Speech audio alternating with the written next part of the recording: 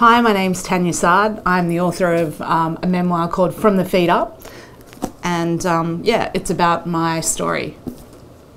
Hi, I'm Vivian Saad Ibrahim, and I'm Tanya's sister. Hey, I'm Paula, and uh, I'm part of this beautiful journey.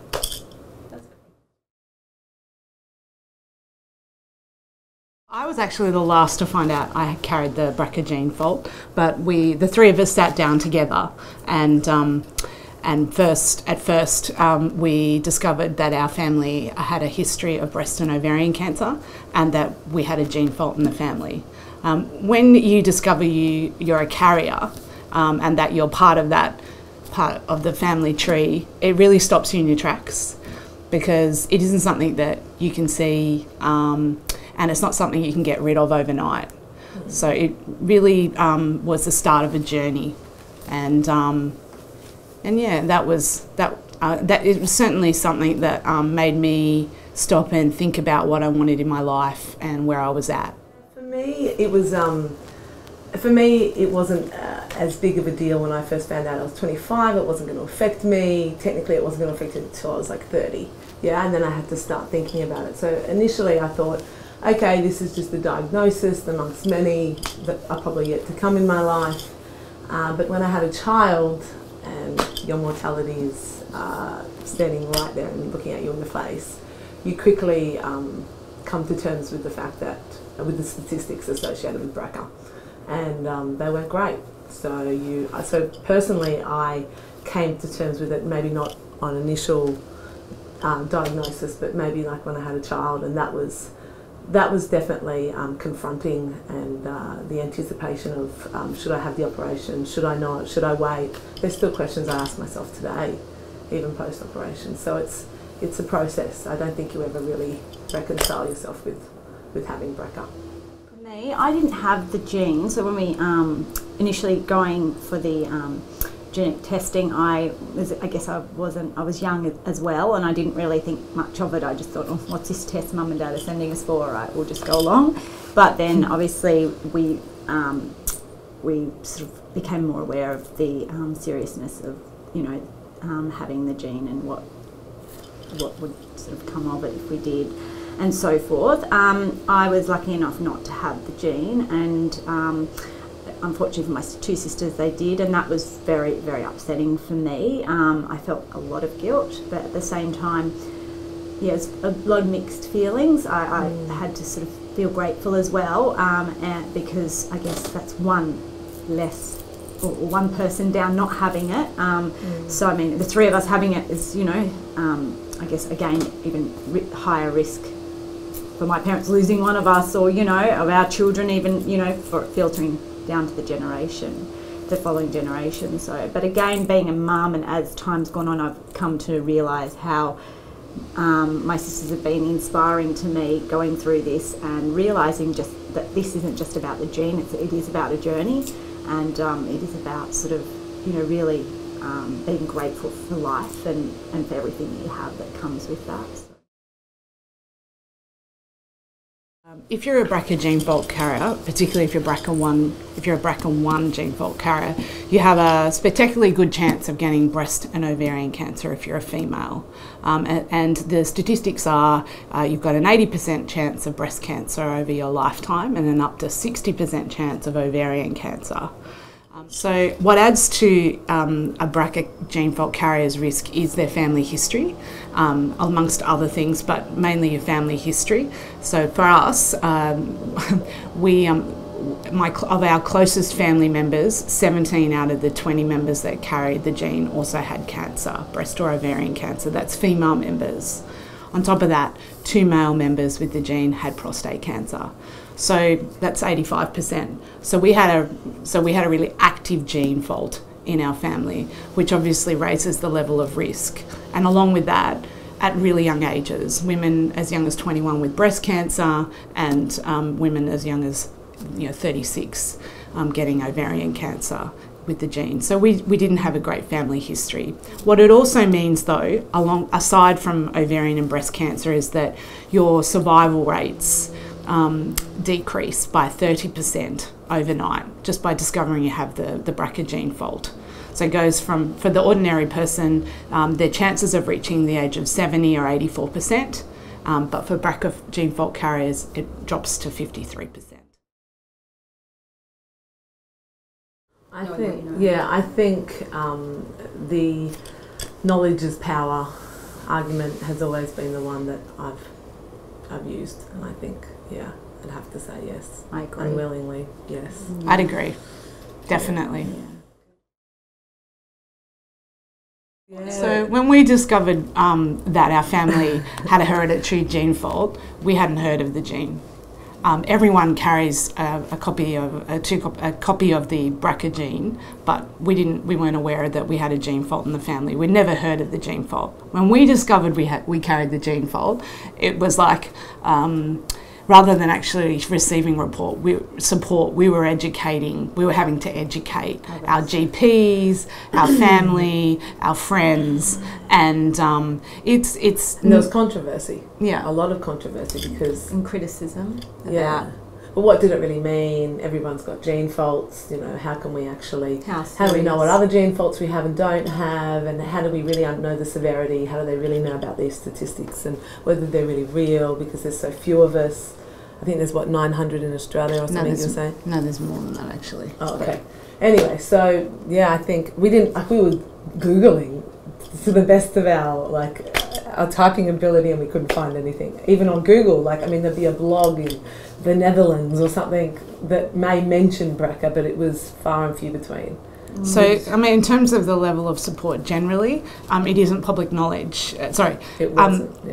it still isn't uh, public knowledge. Um, sorry, the BRCA gene and its risks and what the BRCA gene is, even after Angelina Jolie's um, you know, admission that she also carries the gene fault, um, still hasn't translated to you know, um, general public knowledge.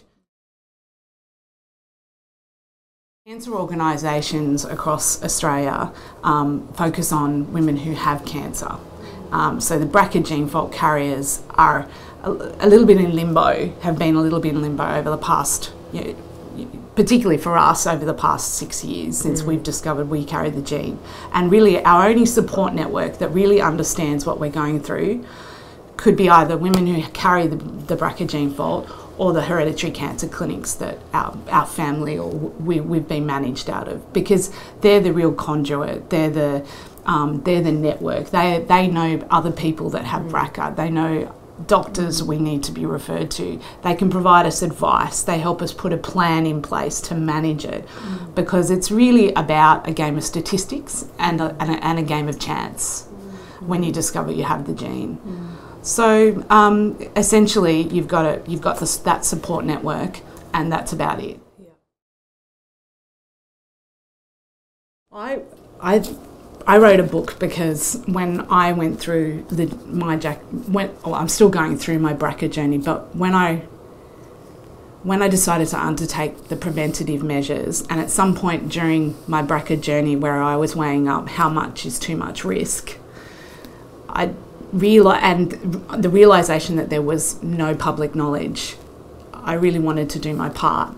So writing my story and incorporating my BRCA journey is my my my way of educating peers and also hopefully giving the next generation um, um, a better understanding of what you have to go through and what what decisions need to perhaps be considered, um, and also just making sure that women in Australia, no matter whether they're in a country town or in a city, have access to the right information resources, and often a book is the best way of doing that because some of those support networks and information information resources aren't available unless you find something online. So, yeah, that's that's hopefully what um, I'd like to see happen with my book.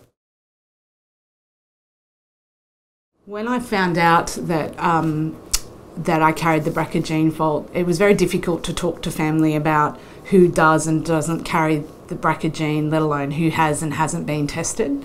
Um, when I did, um, when family members found out about the book, um, a couple of and the mastectomy, the preventative bilateral mastectomy reconstruction um, that I underwent, in 2012, a couple of family members uh, approached me and um, said to me, Never heard of the BRCA gene, didn't know it existed in our family. How can we find out?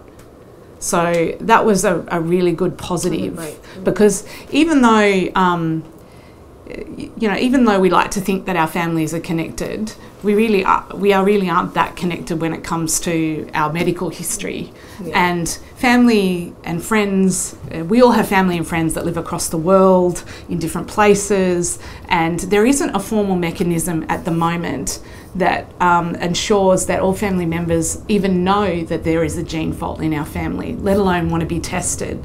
So I think what's important, and we raised ten thousand yeah. dollars last year to go towards the Prince of Wales Hospital Hereditary Cancer Hereditary Cancer Clinic that are doing some research on trying to find a more formal way Of educating of educating and com- you know getting that communication network out to families so that they do know if it does exist and they do have the choice as to whether or not they want to be tested. Um, okay, well, the process is tedious, it's um, confronting, it's conflictual. The process is not easy, definitely. I mean, um, I mean, for some people, they just. I think. I think youth. If you if you made the decision when you're 18, you take risks when you're 18. You think, yep, I'm invincible. Um, and, and if I had found out when I was 18, I probably would have just removed the breast then and thought, yep, this is fine. But the older you get, I think you the more you question um, your life and, and how you're going to contribute in life. And I think making the decision um, was definitely um, very hard, and the anticipation around making the decision, like assessing the risks. There's risks in the surgery, um, and also assessing the byproduct, the aesthetic, aesthetical byproduct of, you know, having a bilateral mastectomy, um, having uh, the great, you know, advancements in surgical technology now. We both have kept our nipples. We've both kept our skin. I mean, we're we're the lucky ones essentially. Yeah. Um, so we've aesthetically got a good outcome, but um, it was there's a lot to consider, and um, as a woman, it's hard. And a mother. yeah, and a well. mother, you know, not being able to breastfeed my next child, I had to assess that. Do I do I wait? I can't I can't scan or I can't screen for the next year, and then if I have a baby, I can't scream because I'm breastfeeding, so that's three years of my life. But what if I get breast And cancer? do you do you uh, do you undergo IVF to make sure that your Yeah. child doesn't get carry the gene as well, or do you not worry and hope that The she, she or he will favour. be the fifty percent that doesn't get the Doesn't gene, as opposed to passing it on? Um, it's uh, also it's it's a, it's a difficult decision because when you discover you carry the BRCA gene fault, it affects every aspect of your life. Yeah. And at no point in time is there a moment where you go, I got all the answers. Mm. This is the moment where it doesn't matter what happens tomorrow, this is the right time. So, and, and the other thing is, no one can tell you when the right time is. Mm. So it's a decision that you really have to Very make, individual. that you know you're going to have to live with Mm. and it is really a personal journey. And there are, as Paula said, there's so many things to consider because there's so many offsets. Mm. Um, you know, And for each individual and in every demographic. you yeah. know, you look at Tanya.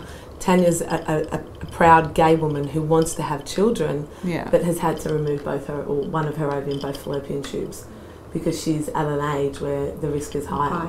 Whereas, you know, and again, myself, do I take away the fallopian tubes now and then just go through IVF? But what if I, as I'm going through IVF, I get the ovarian cancer gene? You know, I've had to ask my husband, which one would you rather, another child or would, you know, and he's like, oh, I'd rather you, obviously. So there's like, there's all these confronting questions that you really need to ask yourself. It's, it'd be lovely just to sweep it all under the carpet. I'd much rather it that way. I think we as women need to see ourselves as subjects of our environment, not objects of our environment, that we can contribute something that's not objectifying ourselves or, or objectifying each other or men objectifying us. I think we need to celebrate our bodies, celebrate our intellect, celebrate all aspects of what we have to contribute and celebrate each other. I think Mm. women don't celebrate each other as we were Enough. saying Yeah, enough. I. Um, I think uh, men have a brotherhood, um, it's unspoken of, um, and I don't think that there's that complexity and, and layeredness in, in men's personalities as there obviously is in women's. Um, I think that's because we're more intelligent, but that's just. You know. But um, and I think we need to celebrate each other and empower each other um, rather than obviously um, Judge and judge, yeah, judge and and be and, and be kinder to each other. Be kinder to each other. Be be kind more of compassionate. yeah, particularly around these kind of health issues. Um, I think we need to be less and be more forgiving and, and, and, and loving. Put forward my advice there is to really just um, yeah, be compassionate, love yourself, and mind over matter. Really. I would just say um, learn to find the natural order of your life and embrace what is and isn't meant for you. Um, and the, the happier you'll be if you do that. I like for women, I like to say to women, it's okay to overly sexualize and objectify ourselves and, and love that part of ourselves. I think that part's okay, but I'd also love for us to believe that we are subjects. We can, you know, we can act. We're not just being acted upon. We can act. We can take action. I mean, um, The feet up. It's a it's a novel perspective about discovering a person's identity from the feet up rather than the head down. Boys, take note. It's much more discreet. Um, my book really does um, examine what it means to be a woman, from a, be it a, an, an Arab woman in a country town, a gay woman, um, a BRCA gene fault carrier, um, and it's it's really about embracing who we are, and rather than what we want, and um, and I hope you really enjoy reading it.